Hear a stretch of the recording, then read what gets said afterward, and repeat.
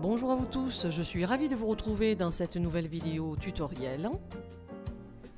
Et je souhaitais vous proposer un exercice euh, pour vous expliquer peut-être encore une fois comment nettoyer autour euh, de, des cuticules l'excédent de peinture euh, dû à une projection de, comme là sur l'image, un full cover.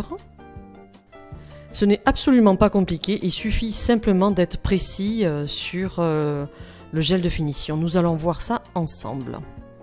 Donc pour euh, la démo, j'ai dû dépoulir légèrement euh, l'ongle. On va attaquer donc avec du blanc.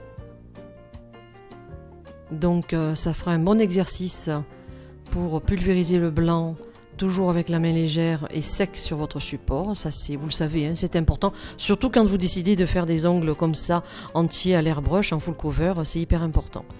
Donc là je voulais faire un petit aparté sur la cuticule. Il faut bien que votre, euh, vos ongles soient bien préparés. Là, vous passez la couleur que vous désirez. Donc là, je vais faire un dégradé. Ça permet justement ben, de faire une autre révision sur les dégradés. Donc il va falloir incliner votre aréographe. Voilà, vous aurez pu vous arrêter à ce, stade-là. Moi, je crois que j'ai remonté un peu plus haut. Peu importe. Mais voilà, ça sera l'occasion également de réviser les dégradés. Ensuite, nous allons passer au gel de finition. Alors vous prenez un gel de finition que vous souhaitez. Là, je voulais vous montrer qu'il est évident qu'il y a de la peinture de partout. Il faudra faire attention aux cuticules quand vous allez passer le gel de finition. Donc, euh, le gel de finition, là, vous voyez, j'en ai mis un peu trop. Prenez une couche plus fine, surtout quand vous allez vous approcher des cuticules. Vous voyez, j'arrive très proche des cuticules, mais euh, j'ai fait peut-être une petite bêtise. Vous bordez bien le, bord libre. Et là, je vais catalyser, passer un petit peu le buis, bâton de buis. On passe au nettoyage avec un pad imbibé d'alcool, de cleaner. Vous voyez que quand votre gel de finition est très bien passé et qu'il n'y a pas d'oubli, la peinture ne s'en va pas. Et là, mon coton était bien imbibé. J'essaye de nettoyer. Vous voyez, même je frotte, ça ne part pas. Ça, c'est quand vous maîtrisez le débit d'air de peinture, la peinture arrive sèche. Je vous garantis que c'est difficile à partir.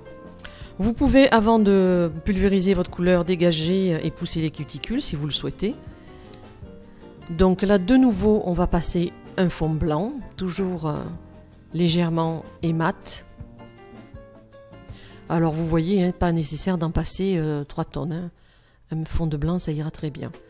Ensuite, toujours un dégradé pour vous montrer, vous prenez les couleurs qui vous font plaisir. Moi, j'ai pris ce que j'avais sous la main parce que le but, c'était de, vous justement de vous expliquer ce nettoyage, euh, comment on fait pour éviter les dérapages ou, la peinture qui, s'en va.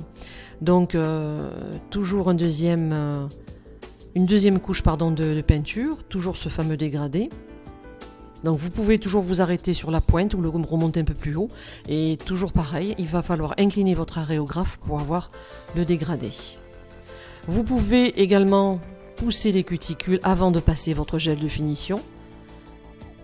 Voilà, donc veillez bien. Là c'est toujours euh, ma blessure de guerre, hein. c'est l'allergie qui m'a un peu abîmé euh, une partie de l'ongle.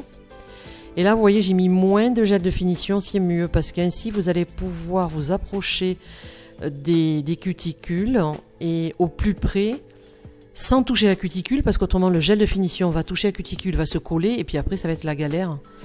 Ça sera pas, pas pratique. Donc veillez à ce que le gel soit passé de partout.